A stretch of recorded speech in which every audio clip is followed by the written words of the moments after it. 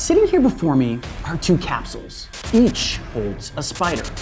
Now, one of them is completely harmless, and the other hails as one of the most venomous spider species in the United States. What if I were to tell you that one of these is recluse? Yes, a recluse. And I will be free handling this dangerous spider very soon. But first, you need to properly identify which is which.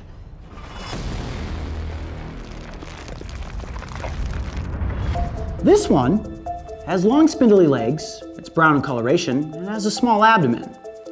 This one is slightly more robust, has a bulbous abdomen and stockier legs. Both spiders are creepy, both spiders are brown, and both of them suffer from a syndrome that I like to call BBS, basic brown spider. Now, the recluse is one of the most misidentified spider species in all of the United States, and that's based on their range, their size, and their similar body structure to other basic brown spiders. Can you tell which is which? Now, if you picked this spider as the recluse, you are absolutely correct. Now, there are several recluse species that exist throughout the United States, the most famous being the brown recluse. This is its close southwestern cousin, the desert recluse. And for simplicity's sake, from here on forward, I'm just gonna refer to this arachnid as the recluse. And yes, like I said, I am going to free handle it to see if it lives up to its villainous reputation. When it comes to properly identifying a recluse species, there are four helpful aspects to consider. And the first is location.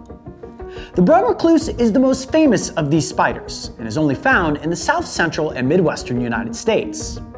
Second is size. Recluse spiders are small. If your suspect is larger than a quarter, it's not a recluse. Bigger doesn't always mean more dangerous. Third is web structure. If your brown spider is dangling from a web, it's not a recluse. These spiders hide in cool, dark crevices.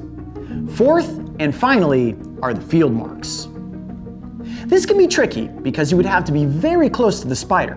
But if you can spot a violin-shaped design on the cephalothorax, there's a good chance you were looking at a recluse. Hopefully that helps, but when in doubt, never interact with a spider and simply admire them from a safe distance. Okay, now that you guys have gotten a healthy dose of education, I think that you have earned your entertainment. So I'm going to place this little basic brown spider off to the side, and I think it's time. I'm Coyote Peterson, and I'm about to free handle a recluse. Here we go. Now, it is fair to note that this spider has one of the most potent arachnid venoms in the United States. It has some necrotic components to it, and you've likely seen some pictures on the internet that are quite horrific looking. It's also fair to note that not all spider bites from recluse are equal. It all depends how your body reacts to the venom. Regardless, I do not want to receive a bite in this instance. So I'm going to try to be as absolutely calm as possible and just gently coax this spider out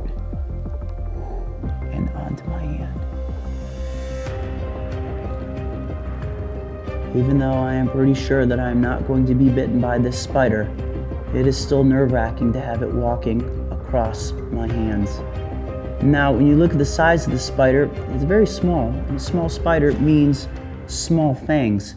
And in many instances, taking a bite from a spider like this is actually quite difficult. And this spider is not likely to inflict a bite unless, whoa, that was incredibly fast. Unless it feels pressure on top of its body and it feels the need to defend itself. In almost all instances, spider bites happen as a defense bite.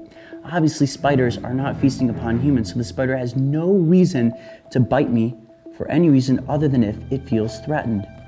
We've got it in a perfect position there, right on the edge of my thumb.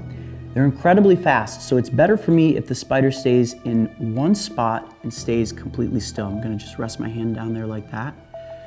Now, the skin on the top of my thumb is rather soft. I would be more comfortable if the spider was on the underside of my fingers where they're a little bit more calloused, a little bit more worn in. And the softer parts to your skin are where you're more likely susceptible to be able to take a bite. Remember, the fangs of this spider are incredibly small, smaller in size than even something like a black widow. Now, when it comes to recluse bites in the United States, nearly 90% of the bites that happen heal on their own and do not result in large necrotic lesions. And it's all based on how your body reacts to the venom. If you get a spider bite and you're noticing that you're having some really negative effects, I strongly recommend that you seek medical attention. It's important to keep an eye on the bite site and determine what's happening. Is it becoming red? Is it becoming swollen? Is it starting to look pussy? Uh, one of the big fears with brown recluse bite specifically is that the necrotic components to the venom begin to break down red blood cells. If that does end up happening in the case of a bite, you definitely want to receive medical attention. However, there's no antivenom for brown recluse or any recluse species venom. So while you can go through a potentially painful situation, it's very unlikely that you're ever going to be bitten by the species. Here's something else to consider. The name recluse basically means that these spiders are doing their best to stay out of the sight of humans. If you see one of these spiders, it's most likely going to be outdoors, usually in a dark cool place. The desert recluse, which this species is specifically, almost is never found indoors. Brown recluse can be found indoors, but there's even been stories about people who have had brown recluse infestations in their houses and did not receive a single bite over the course of several months. Kind of goes to show you that they aren't necessarily aggressive toward humans. People across the United States have stories of seeing brown recluse. And it's not to say that you haven't seen a brown recluse, but this is one of the most commonly misidentified spider species in the United States. And so many brown spiders look similar. Now, the way that most spider bites end up happening, just like with the black widow, is that the spider is accidentally pressed down upon and it feels as if it's going to be squished. If a spider is in a shoe or in a piece of clothing, you put it on, you feel something moving around, and then you swat at it, that's where the bite ends up happening. So if you see one of these spiders just crawling around and you ignore it or moving the other direction, your chances of having an interaction being bitten are slim to zero. So at this point I have to wonder, is the brown recluse really living up to its venomous and aggressive reputation? At this point, I would say not really. The spider's just freely crawling along on my hand and arm and at this point has not shown any form of aggression whatsoever.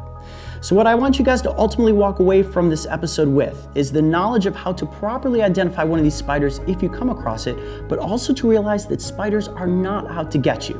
It's also safe to say that you should never try to interact with a recluse or any spider species for that matter. Remember, I've got a lot of experience interacting with these arachnids. If you see a spider in the wild, simply admire from a safe distance, and both you and the arachnid will go on to have a safe and happy encounter. I'm Coyote Peterson. Be brave.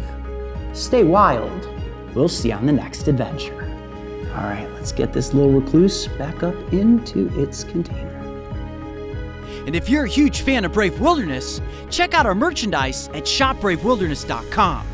You'll find everything from t shirts to hoodies to backpacks and even my authentic Coyote Peterson hat.